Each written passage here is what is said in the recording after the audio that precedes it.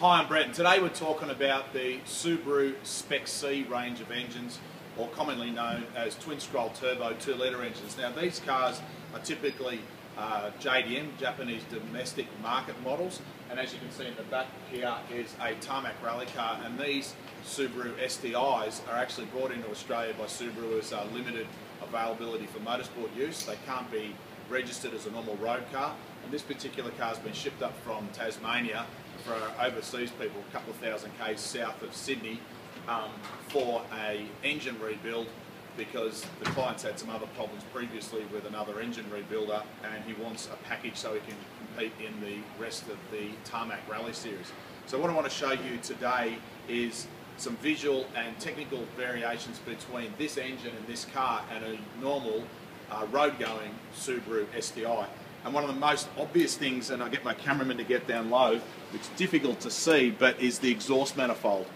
These engines are twin scroll turbo. They've got a completely different exhaust manifold to match the turbocharger. And if you see the pictures that we've posted with this video on our Facebook page, I'll show you some differences between the tur turbos. And the difference mainly is in the entry and the way the compressor housing is designed for the up pipe for the turbo. So you can't just swap exhaust manifolds and turbos between these different twin scroll and non-twin scroll setups. The other difference between this engine is it's a 2 litre engine, it's not a 2.5. The 2 litre engine on the, on the current model Spec Cs have slightly different pistons to the earlier model 2 litre engines, so they're not what we would typically call these days a true forged piston. Um, they are better from a competition and a reliability point of view than the pistons that are in the 2.5 litre engines. That's the hyper-eutectic pistons.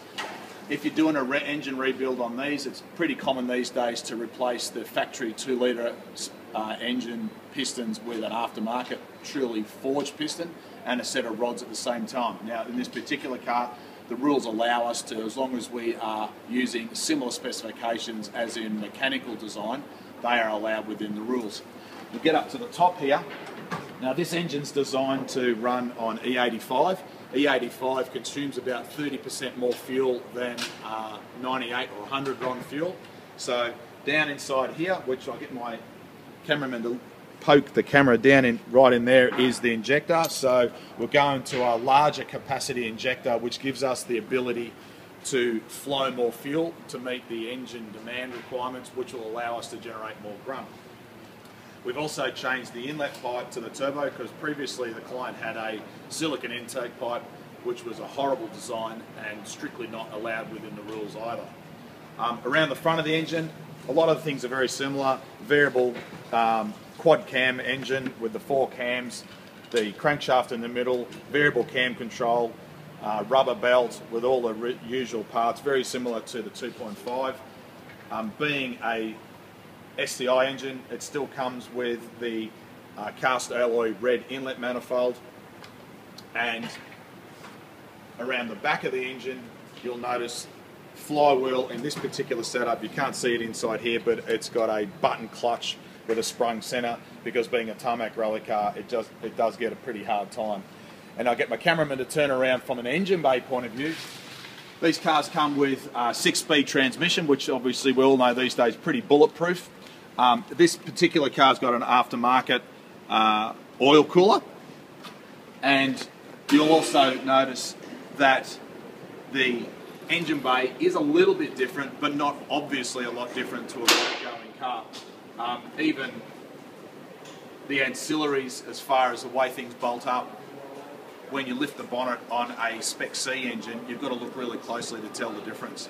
So there you have it from a performance point of view. Top mount intercooler is fairly similar as well. Difference between an STI Spec C and an STI road going car, it's in the detail that makes the difference. And one of the big questions um, I'll end up answering here is, is the 2 litre engine better than the 2.5 or is the 2.5 better than the 2 litre? Well, it depends on how you're going to be using the car the efficiency of a 2 litre engine at different RPM is different to the efficiency at a different RPM to the 2.5. So what you've got to consider is what are you going to actually be using the car for? The Spec C engine runs a higher compression ratio which gives it more torque, but it's 2 litre. but a 2.5 has greater capacity, so it also has more torque than a 2 litre, but it doesn't run the same compression ratio. So there is no black and white answer. It depends on what you're actually going to be using the car for. So hopefully this bit of information will help you learn and understand more about your car wherever you are in the world. If you've got one of these engines and the package upgrades, there are some other really good improvements with the custom factory tuning using EcuTek software. And this car will be on our dyno next week, ready for delivery back to the client to compete in the next round of the Australian Tarmac Rally Championship. For now, I'm Brett Middleton. I really hope this video has helped you learn a bit more about your car. Make a comment here on our video channel, send us an email, pick up the phone, give us a call, or go to our website, have a look at the resources page on the drop-down menu for the dyno data, and you'll see a whole heap of graphs as well that will help you see what you can achieve out of these engines. But for today, thanks for watching.